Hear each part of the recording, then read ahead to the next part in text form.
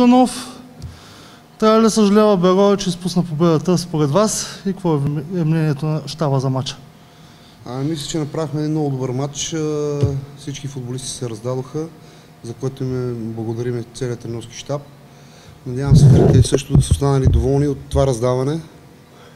Резултата не е приятен, защото получихме гол на собствен терен, но това не означава, че няма да отидем в Финландия да търсим резултат, който да ни позволи да преминем по-нататък. Благодарим. Заповядайте за въпроса, Желязко Дина. Първо поздравление за играта и за представянето на отбора. И второ, доволни сте от новите пълнения японеца и Кирил, които буквално това беше първи побой за тях, Аз, както винаги съм казал, не мога да отличаваме дали друг играч. За мен е важно отбора да играе добре, като цяло защото един или двама играчи не решават а, даден матч. Отбора, ако се представи на ниво, а, мисля, че това е, това е достатъчно. Искаме да работят като едно цяло и стремим се към това нещо. Други въпроси?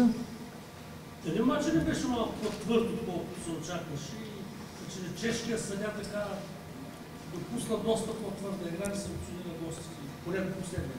Така е един Ами аз в моята кариера и като футболист и като треньор никога не съм коментирал съдиите. Няма да го направя и сега. Има си делегат на УЕФА, който да прецени дали се е представил добре или не. Ние не трябва да очакваме помощ от съдиите, ние трябва да си играем нашата игра. Не, матч беше нормално.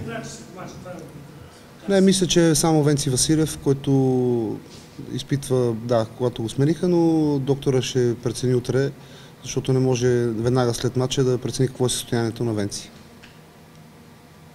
Други въпроси, колеги? Ако нямате, благодаря ви. Мерси.